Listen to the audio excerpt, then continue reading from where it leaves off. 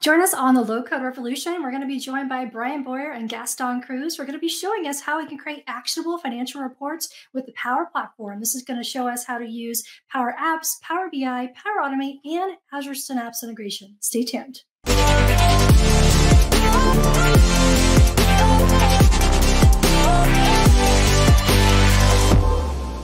Hey everyone, welcome to the Low Code Revolution. I'm your host, April Dunnam, and we have a special treat for you today because we have not one but two guests. We're joined by Brian Boyer and Gaston Cruz. Hey guys, welcome to the show. How are you doing? Hey April, how are you? Nice, nice to be uh, here yeah, again. Happy to be here.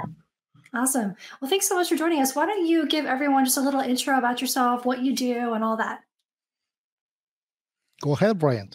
Oh, thanks, Gaston. Yeah, so I'm Brian Boyer, a principal consultant at Slalom. I do all things Power Platform. Been working with it for a few years now, but yeah, basically do anything and all that our customers need to do.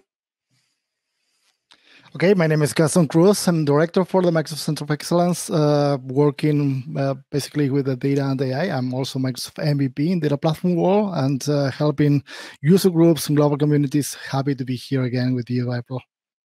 Awesome. I'm so happy to have you here, some of our great MVPs in the community.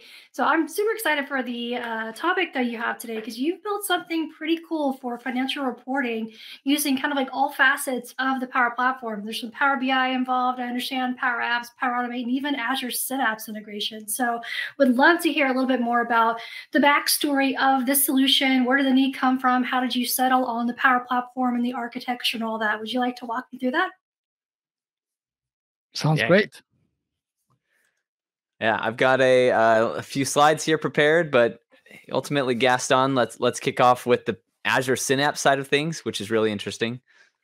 Yep, I can do that. You know, I can I can start kind of a little bit of story around kind of a synapse, and this is kind of a conversation that we've been having with multiple clients in terms of understanding a little bit of you know synapse. Uh, basically, it's not just data warehousing; it's kind of a de- designed for analytics workloads that you can scale uh, if you want to do AI, machine learning, IoT projects, intelligent apps, data analytics streams. So there's a whole synapse analytics studio coming for the data engineer, data scientist. So you can combine multiple languages. You have a whole developer experience with local platforms uh, available in Synapse. You can actually combine different languages like uh, T-SQL, Python, .NET, Java, Scala. You can integrate different platform services for management, security, meta stores, and behind the scenes you have in Synapse the whole concept of data lake storage, where you have uh, connections directly with the uh, different link services. And it's amazing how you can connect Synapse right now with different uh, link services across different platforms. Uh, just to give an example example, one of them is Dataverse, and you can connect directly with all the tables that you have in your Power Apps and your, your solutions in the low code platform uh, and connect directly to sync up with the Synapse. So you don't need to kind of uh, doing kind of an integration pattern or core pattern to ingest data from Power Apps across Synapse. You have a whole integration between both platforms. That is amazing in terms of how the clients can rely in one single platform to have all in one single place. So in this case, what, what we came up with, uh, Brian, uh, in, in this solution is how you can connect actually Synapse with Power BI, with Power Apps, with Power Automate, directly sync up with the Synapse layer. And even if you need to kind of come up with an idea of, okay, let's land the data first of all to Azure Data Lake and then connect to other platform like Cosmos DB, if you have transactions layers or Azure SQL, or even you want, you want to kind of automate the whole process connecting with uh, Azure DevOps, that is all available in Synapse and it's really easy to ramping up with with a whole and entire solution. So that is a little bit of the connectivity that we found uh, really, really grateful in terms of connecting Synapse with all these these platforms. And I think April, one of the most interesting things with the power of Synapse being out there, a, a new newish product that a lot of our customers are just barely dipping their toes into. I mean, th- they want to integrate all these things together. And that's, you know, we hear more and more of our customers who are throwing all their data together in Synapse asking, can I plug into the Power Platform right on top of this? And that was kind of the unique challenge we we approached here. So with with a particular customer in the manufacturing industry. It came from the office of the CFO who said we had this big effort. We got all of our SAP data from a you know data from a variety of sources now in Synapse. Can we visualize our forecasts in Power BI? And can we make that Power BI data set actionable? So I think we're going to see more and more questions around that same uh, topic from from Microsoft's customers, from our clients across the industry. Wow, this is very cool. I mean, Synapse, like you said, is something that's pretty new. I haven't seen a ton of you know case studies or, or projects with integrating that with the Power Platform. So, really excited. Do you have any kind of a demo to show us of how this solution works? Yeah, right yeah, on. Absolutely. Uh, I'll share my screen here, and we'll walk through uh, this report. So you know, taking a look at this, this is what you would see, I think, stereotypically, a lot of these cash flow um, reports uh, with a lot of forecasting data in here, you know, by company and organization may own several different companies. We got the slicers by company, and you can see this waterfall chart over time, seeing how the cash is ending throughout time based on these forecasts. And this is all coming directly from Synapse. And in this scenario, you know, we're doing direct query to Synapse. But what you may not notice looking at this report is uh, over here in the in the lower right corner, we've embedded a Power Apps, and I think that when a lot of organizations are creating these reports, there's that need or desire from high up executives or from anyone really consuming these reports to interact with them. And in our case, the CFO said, Well, I want the ability to put in a what if scenario and see how that's going to impact the um, cash flow forecast over time. So this is actually a Canvas app uh, embedded here and interacting with our Synapse data in the backend. And you know, you may not even see the difference there um, because it's integrated so so natively. Yeah, I was gonna say I would have never guessed in a million years that that was a Power App that looks like it's just native right in the dashboard. That's so. The best use of an integrated Canvas app that I've seen in a dashboard. Exactly. And, and you can make it look and feel exactly the same. So, walking through a scenario here, the CFO may come in and say, I want to add a new what if scenario and name it, you know, stock buyback. So, they're, they're planning to potentially buy back stock from investors. And if I look, I can choose the company and the quarter. So, let's put it here in our fiscal 21 Q3 and put an amount in. So, let's say we're planning, you know, $50 million of um, stock buyback here. So, 50 million. And here's where the CFO can then choose do I want others who consume this report to see the scenario, or am I just playing around with something I don't want the organization to uh, see in this report yet? And I can say this as a private scenario, and you see that as soon as I input it, this all refreshes. All of my my uh, ending cash is updated, and you see this now. My stock buyback is now in here. This is the magic between direct query with Synapse, Power Apps actually triggering a Power Automate flow in the backend to um, update the the report and the data set. And now I, as the CFO, can see how this uh, scenario is impacting my cash. Now, da- Gaston can't see this scenario because we're also using row level security. Um, we're also doing some filtering in the Power App. But I, you know, this this solution altogether is is just pure magic for the level of the CFO.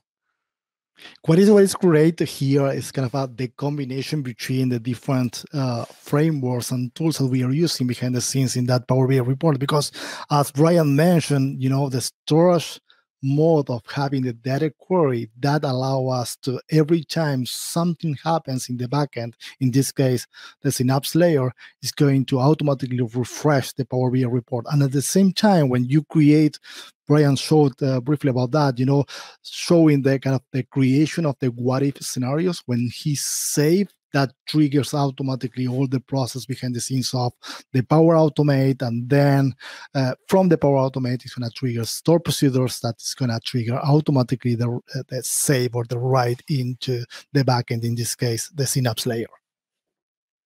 This is this is amazing. You know what I love about it is from the the end user you know experience. It's just very streamlined, almost elegant, you know, simple solution. But you'd have no idea on the back end how much you know fusion dev scenarios with the synapse integrations and different data source being implemented and calling power automate to refresh data and integrated canvas apps and all of that it's a very sophisticated you know enterprise grade solution but on the outside it just looks very sleek and simplistic it's really great use of all the power platform tools and some of of the the pro code integrations that we have with Azure. Yeah, exactly. It you know it was kind of difficult for us to develop in the back end. Those integrations can be tricky, but you're write. From the front end, a, a level of a CFO who's maybe not tech savvy comes in and lands, and and to him it's or her it's just an experience that they're used to seeing and, and doesn't really require much training on that end. Um, I did want to show a little bit. It can be tricky doing data right back to Synapse, especially from a Canvas app. There is not at this point a direct write back from a, a, Canvas app to Synapse. And so you end up integrating Power Automate a bit here and using a stored procedure. But just at a really high level, this would be our process diagram or architecture schema. When you land, you kind of walk through caching the Synapse tables. You can read directly to Synapse from a Canvas app.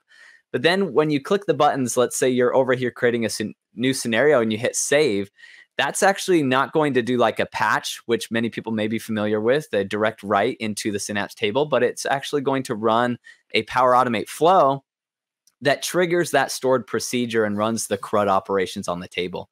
That flow will both refresh, um, it'll, it'll write to the Synapse, and it will also trigger that Power BI refresh once it's all complete.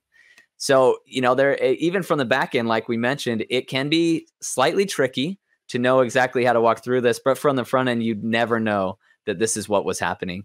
And I'll show a, a little bit that Power Automate flow. It is very simple, right? We just trigger it from Power Apps and then execute that stored procedure.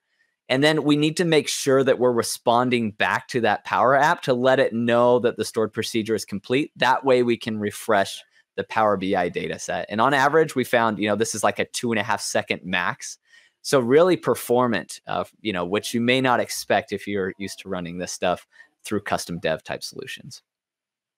Yeah, wow, that's that's very fast. You know, two under three seconds. You know, that's uh, extremely lightning fast there, and it really shows uh, Power Automate. I, we have to call it the the glue that kind of binds everything together. So cool use of that to to call that stored procedure and to run that backend process. So, amazing scenario. So, question for both of you: uh, for people that are wanting to get started, maybe integrating Synapse with the Power Platform do you happen to have any uh, documentation or any resources or things like that or uh, maybe how they can get in contact with you on twitter or anything like that if they want to get started